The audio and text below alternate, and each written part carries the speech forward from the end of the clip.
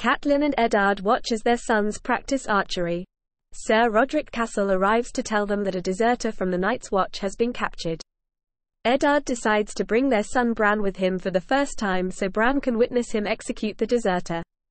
Catelyn protests that Bran is still too young and Eddard replies that Bran won't be a boy forever and winter is coming. While they are gone, they find a litter of six direwolf pups, the animal that is the sigil of House Stark, one for each of the Stark children, and Eddard agrees to allow them to adopt the wolves. A raven bears news of Jon Arryn's death to Winterfell, where Catelyn tells Eddard the bad news.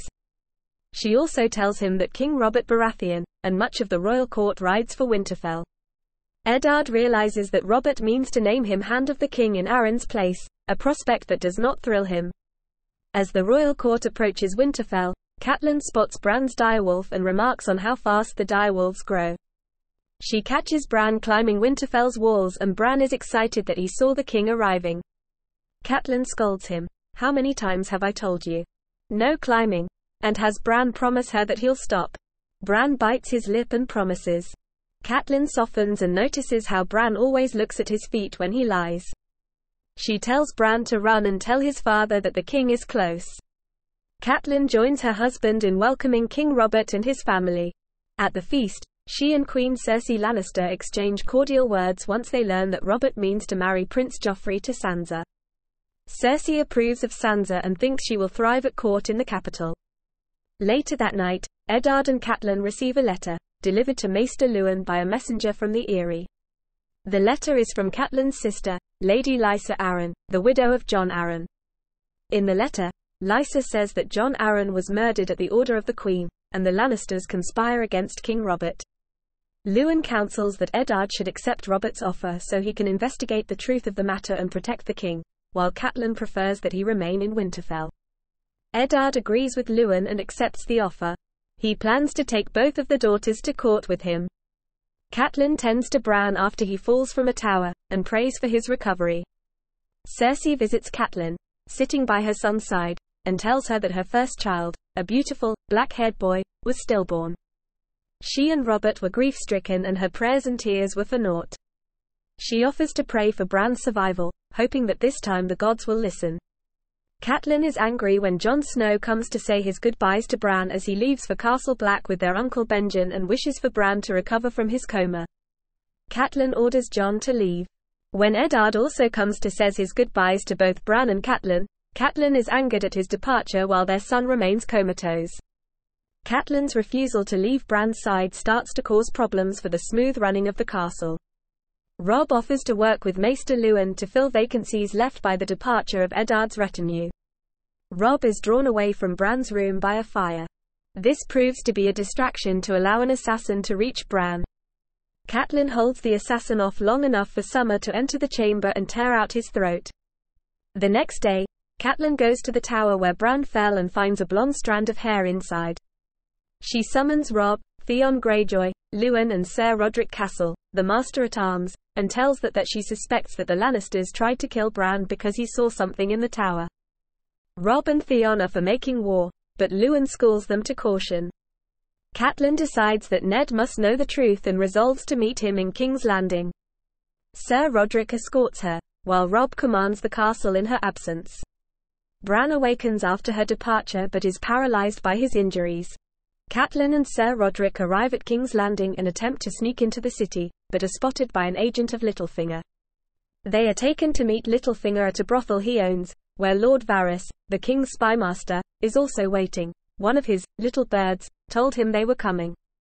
Catelyn is angered by the way she's been treated, but asks Littlefinger for aid in finding the people who tried to have Bran killed. Littlefinger says that the elaborate dagger wielded by the assassin used to be his, but that he lost it in a gamble with Tyrion Lannister. Littlefinger fetches Eddard to meet his wife. Lord Eddard is furious when he realizes he has been brought to a brothel. Thinking it is a bad joke, he assaults Baelish, and is stunned when Catelyn makes her presence known and tells him to stop. After hearing her news, he vows to find the truth and expose the Lannisters to Robert. Littlefinger agrees to be his ally in this, citing the affection he once bore Catelyn as a youngster. Despite a plea to her husband to see her two daughters, Ned emphasizes the danger of her duration, affectionately sending her back to Winterfell. Returning to Winterfell, Catelyn and Sir Rodrik stop at the Crossroads Inn, planning to stay overnight. They are surprised by the arrival of Tyrion Lannister.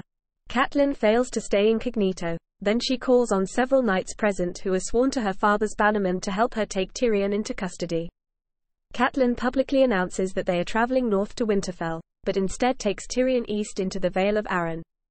In the hills, they are attacked by warriors of the hill tribes, and Catelyn agrees to let Tyrion go unbound to defend himself. Tyrion saves Catelyn's life, but wins no more of her trust. Tyrion warns Catelyn that her sister Lysa has become mentally unbalanced following her husband's death. His warning rings true when on reaching the Eyrie, to which they are escorted to by Sir Vardis Egen, captain of the guards of the Eyrie. Catelyn is unsettled to see how her much her sister Lysa has changed. Lysa and her hysterical son, Lord Robin Arryn, order Tyrion thrown into a sky cell, a prison with a wall that opens onto a sheer drop. Tyrion defends his innocence and demands a trial by combat. The sellsword Bronn, who accompanied the party from the Crossroads Inn, agrees to stand for Tyrion. Bronn defeats Ser Vardis Egen, who takes Lady Lysa's part. Tyrion's victory signifies his innocence in the eyes of the gods and he is released. Catelyn lingers at the Eyrie trying to convince Lysa to commit the Vale's knights to oppose the Lannisters. Lysa is unwilling to take any action which might endanger her son. Catelyn finally decides to leave after Lysa delays telling her about Eddard's arrest in King's Landing, following King Robert's death. Catelyn and Sir Rodrik ride north and meet Robb's army as he marches south. They join his war council, though Catelyn is careful to not embarrass her son or make him appear indecisive. Catelyn points out that to confront the two Lannister armies that have invaded the Riverlands, her father's lands, Robb's army must cross the Green Fork of the Trident at the Twins, which means negotiating with the famously unreliable and prickly Lord Walder Frey. To Robb's discontent, Catelyn goes into the twins alone and wins Walder to their cause by agreeing that Robb will marry one of his daughters, along with a number of other, minor concessions. Once across the river, Robb divides his forces, sending a small force to delay Lord Tywin Lannister's army while Robb Force marches his main force to confront Jaime Lannister near Riverrun. Robb wins a great victory and takes Jaime Lannister prisoner, to Catelyn's pride. Word reaches the camp that Lord Eddard has been executed. Catelyn walks stoically through the camp, while the men bow to her out of respect. Once in the woods, she falls against a tree and weeps. Hearing noise coming from ahead, she goes on to find Robb striking a tree with his sword. Catelyn calls him, then tells him that he is ruining his sword. Robb drops the sword and collapses in her arms.